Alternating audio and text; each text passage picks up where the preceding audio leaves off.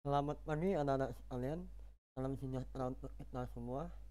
Apa kabar anak-anak kelas 9? Bapak berharap anak-anak kelas 9 dalam keadaan sehat dan bersemangat untuk mempelajari materi penjas pada pagi hari ini. Materi penjas pada pagi hari ini masih di ranah atletik ya, yaitu cabang olahraganya lempar cakram. Langsung saja kita ke materinya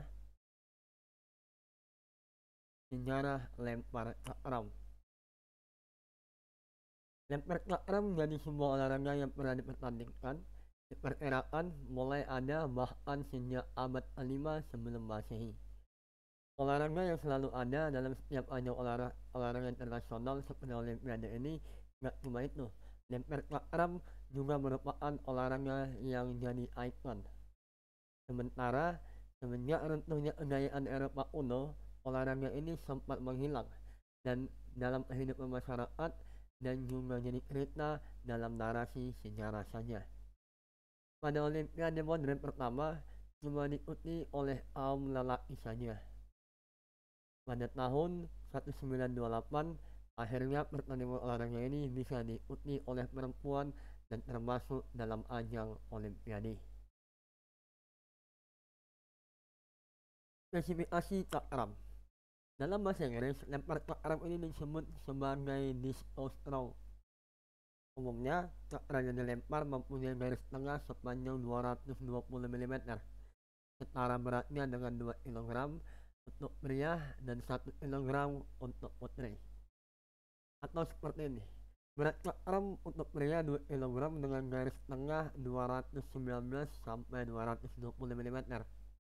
Berat cakram untuk wanita untuk wanita 1 kg dengan memakai garis tengah 180 sampai 182 mm. Cakram ini bisa dibuat dari bahan dasar kayu yang dibentuk menyerupai piring berbingkai sabuk besi. Tapi ada juga cakram berbahan dasar karet padat dan biasanya cakram seperti ini cuma dipakai pada saat latihan saja. Nah, ini dia anak-anak untuk lapangan lempar cakram ya. Lapangan lempar cakram ini uh, jadi yang lingkaran ini adalah sektor lapangan untuk atlet ya. Untuk atlet yang akan melemparnya ya. Ini ini. Panjangnya itu sekitar 2,50 meter ya. Dari sini ke sini 2,50 meter ya dan di bagian samping ini adalah white lines adalah garis putih ya. Dan panjangnya ini ketebalannya ini 5 cm dan di sini panjangnya ini garis samping ini 7,75 cm minimal ya. Dan lapangan untuk melempar atlet itu melempar arang ya ya dari sini.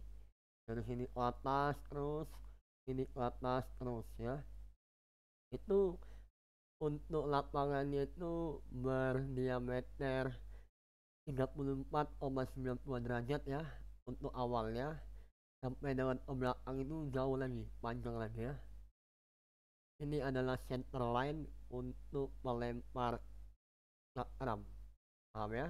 Dan ketebalan untuk garis sampingnya ini adalah 5 cm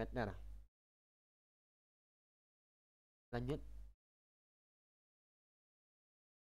Permukaan lapangannya harus datar dan tidak licin dan bisa terbuat dari semen atau aspal atau bahan lainnya.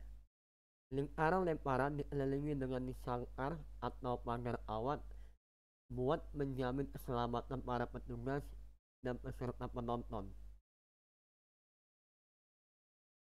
Lebih jelasnya seperti ini. Garis tengah lapangan berukuran 2,50 meter, lingkarannya dibuat untuk melempar para perpanjangan resmi terbuat dari metal atau baja. Perpanjangan dari garis tengah sepanjang 0,75 meter, sudut lempar sebesar 40 derajat atau 39 derajat, garis batas lempar atau lebar garis 5 5 cm. Gaya dalam lempar cakram. Ada dua gaya lempar cakram yang pertama adalah lempar cakram gaya menyamping ya Kita bahas yang pertama, gaya menyamping atau gaya samping yaitu di mana gaya dari pemain pada waktu persiapan menghadap ke arah samping atau searah dengan tangan yang nantinya akan dipakai buat memegang cakram. Umumnya, gaya samping yang dipakai yaitu samping kanan karena sebagian besar atlet lempar cakram memakai tangan kanan buat melempar. Ada juga atlet yang tangan kiri ya, bisa juga sebaliknya. Dengan memakai gaya samping, atlet bisa mengambil dengan dengan dua cara. Yang pertama membuat ayunan dari arah samping ke depan berapa kali, dan yang kedua untuk mengukur sudut. Lalu pada ayunan sekian kalinya, atlet akan melepaskan cakram sejauh mungkin ke depan.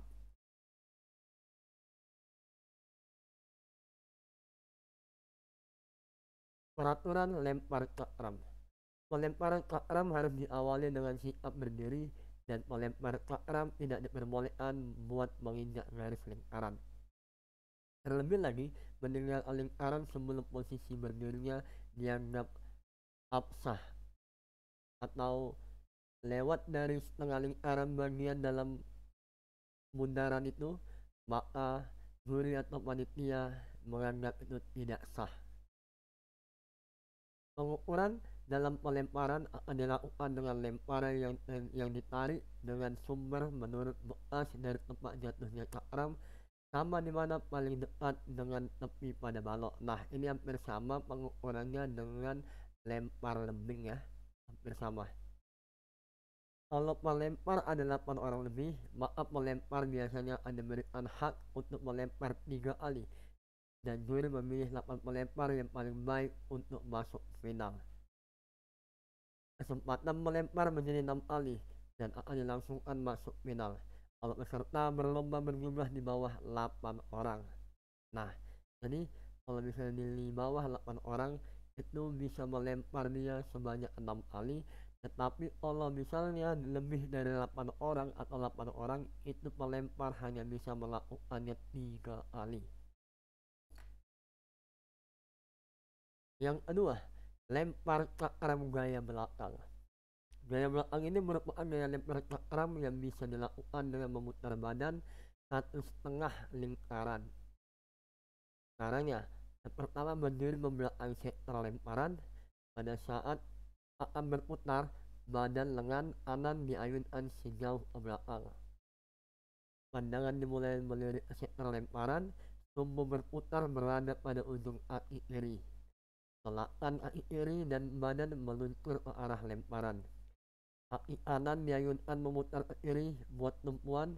Kedua kaki saling bertukar posisi buat berputar dan menyeimbangkan badan. Dan terakhir, pada saat cakram mau dilempar, kaki kanan segera berpindah ke depan dan kaki kiri berpindah ke belakang untuk menjaga kestabilan tubuhnya. Paham ya? Teknik dasar lempar cakram. Teknik yang pertama adalah teknik memegang cakram. Teknik dasar dalam lempar cakram ini harus kamu lakukan dengan tepat dan benar. Caranya, yang pertama letakkan cakram ini di telapak tangan kiri atau kanan agar lebih mudah buat memegangnya. Lalu pemegangan di pemakai tangan kiri atau tangan kanan fungsinya buat pelemparan kanan. Tergantung bagaimana kalian memakai ya atau melakukannya bisa tangan kiri bisa tangan kanan. Jadi kalau pemegangan memakai tangan kiri fungsinya buat tangan kanan untuk melempar. Kalau pemegangan tangan kanan fungsinya buat melempar tangan kiri ya. Letakkan tangan kanan di atas cakram di bagian tengah buka empat jari dengan sedikit renggang hal ini berfungsi sebagai penutup pada bagian pinggir cakram Kemudian, letakkan ibu jari bebas di mana saja pada cakram. Yang kedua, teknik awalan lempar cakram.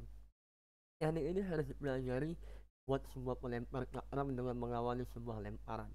Dengan awalan yang sempurna, maka menghasilkan hasil yang optimal. Lempar cakram ini diawali dengan posisi badan yang memutar.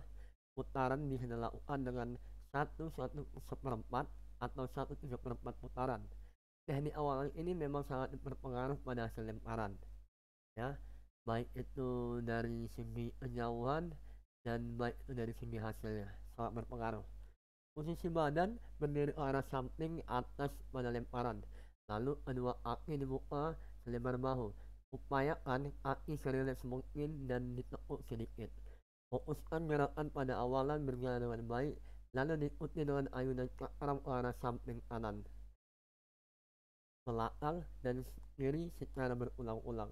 Ulangi gerakan tersebut sebanyak 2-3 kali agar terbiasa. Kemudian berputar badan, dan ingat dalam teknik awalan ini sering terjadi kegagalan yang disebabkan oleh pegangan cakram yang kurang atau tidak kuat dan tidak melakukan ayunan yang benar atau tidak disertai dengan gerakan lanjutan. Putaran badan dilakukan secara tepat, putaran terhadap bagian bawah tubuh mendahului bagian atas. Berarti putaran kaki terlebih dahulu baru putaran bagian atas atau bagian tangan ya. Lanjut. Teknik melempar cakram berikut ini ada teknik melempar cakram yang baik yang benar. Contohnya seperti ini. Yang pertama tolakkan pada kaki kanan agar panggul bisa diangkat ke atas lalu dorong kanan ke arah depan dan atas. Badan dicondongkan ke arah kanan dan diputar ke arah kiri diikuti dengan putaran gerakan pinggul ke kiri juga. Tumpukan badan pada kiri. Tumpukan badan pada kaki kiri. Letakkan badan ke arah lemparan penuh lalu lempar ke arah depan atas. Cakram yang dilemparkan setinggi dagu dengan sudut sebesar 90 derajat lemparan tersebut dilepaskan dengan putaran searah dengan jarum jam lepaskan cakram pada saat Anda di muka, bahu, dan dorong memakai jari telunjuk. Kalau cakram sudah dilemparkan sebelum mencapai muka bahu, maka lemparan akan gagal dan akan membuat lemparan jarak dekat dan tidak jauh dan keluar di daerah yang sudah ditentukan. Tetapi kalau pelepasan cakram tersebut terlambat, maka sama saja hasil lemparannya akan tidak sempurna atau hasilnya tidak akan memuaskan. Cakram dilepaskan dengan posisi badan condong arah depan, fokus pemandangan arah depan, dan arah lemparan atau ke depannya lagi.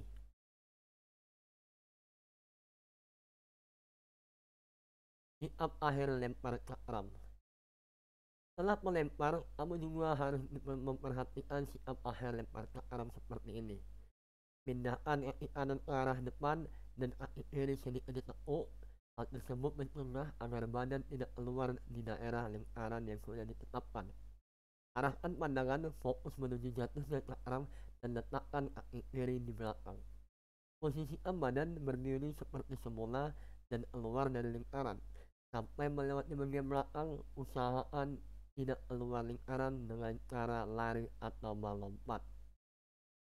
Jadi melewatinya tuh hanya seperti biasa masuk ke dalam lingkarannya ya.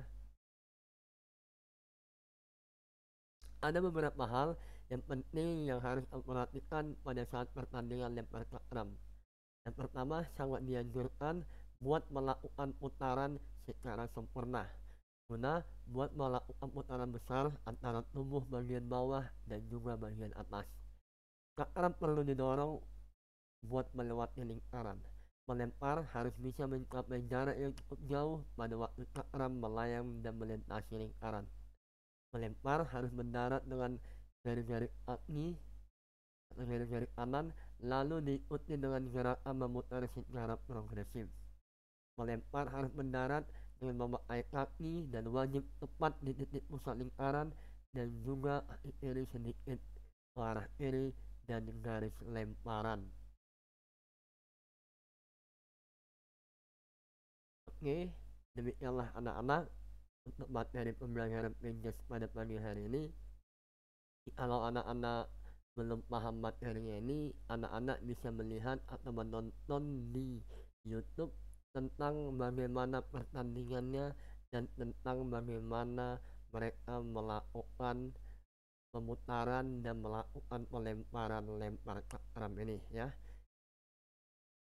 Mungkin sampai di sini dulu pertemuan kita pada pagi hari ini dan untuk tugasnya anak-anak bisa mencatat semua materi yang Bapak berikan pada pagi hari ini dan anak-anak mencatatnya dengan baik di buku catatan pinjasnya tanpa diringkas-ringkas bagi yang tidak mengerti. Jadi kalau udah mengerti boleh diringkas dan nanti kamu pertanyakan apa-apa saja yang sudah kamu mengerti dan Bapak akan berdialog sama kamu. Demikian anak-anak pertemuan pada pagi hari ini. Salam sehat, salam olahraga.